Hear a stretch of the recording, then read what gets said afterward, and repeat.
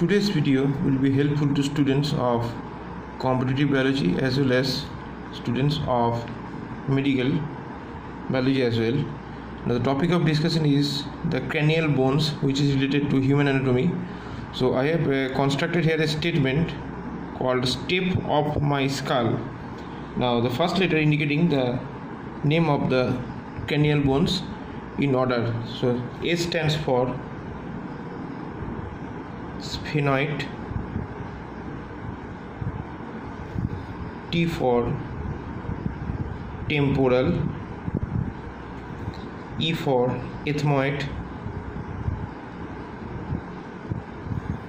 P for parietal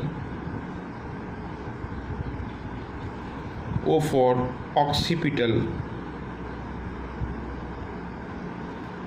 and F for frontal so this is the statement step of my skull and the remaining two of f actually uh, the remaining f actually designating the uh, completion of the sentence as a whole word. So this is the one of the easiest technique to remember the names of the cranial bones in order. Thank you